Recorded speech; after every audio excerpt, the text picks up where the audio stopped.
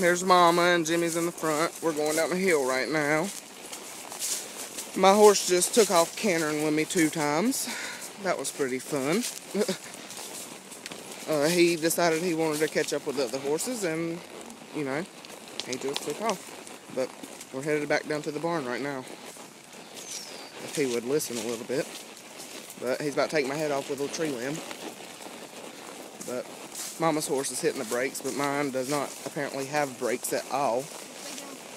Um, hold on, let me get my reins a little bit better. Go on. Oh, yep, we're about to walk in horse poop. Hold on, I got tree limbs. Hold on.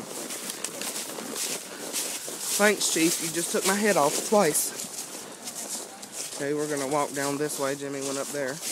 Me and Mom are going to try out this little place right here. And her horse just had a snack.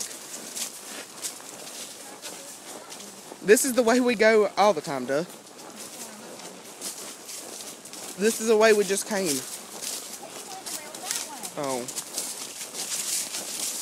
Well, this is the end of that video. We're going to go ride in the pasture for a little bit.